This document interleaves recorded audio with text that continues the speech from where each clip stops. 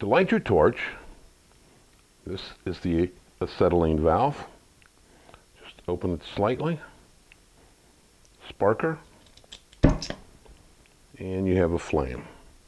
You see I've got some black soot there. I don't want that. So I pull it out until I get this kind of feather out here. Now, I go back and I add oxygen. Just twisting it until I get it right there. That is called a neutral flame. Now this is the acetylene flame. I'm turning the oxygen valve, feeding the oxygen into the acetylene flame, bringing it back to a neutral flame.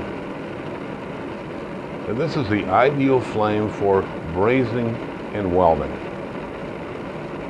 Once in a while, rarely happens, but once in a while, the bronze is just not flowing. So this is the time to give it a slight carbonizing flame. And you see the cone there for the neutral flame. Now I'm going to add just a tiny bit of acetylene. You see it kind of pop out there. And got a sharp point to it. Now once in a while, that will help the bronze to flow. But